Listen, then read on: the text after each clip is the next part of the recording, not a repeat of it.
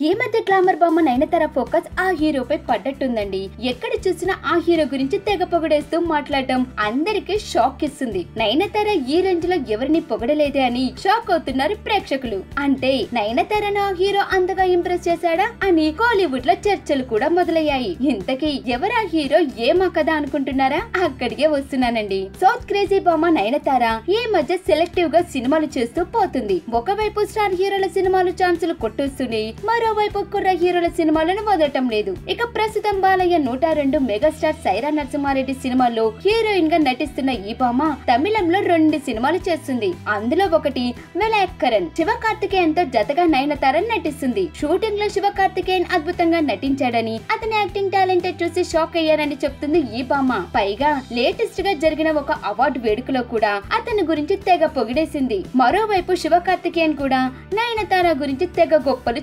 చేస్తున్నాడట అంతేకాదు శివ కార్తికేయంతో తరం మరొక సినిమా కూడా చేస్తుందట. మరి ఈ వ్యవహారంపై సినీ వర్గాలు ఏమంటాయో చూడాల్సిందే.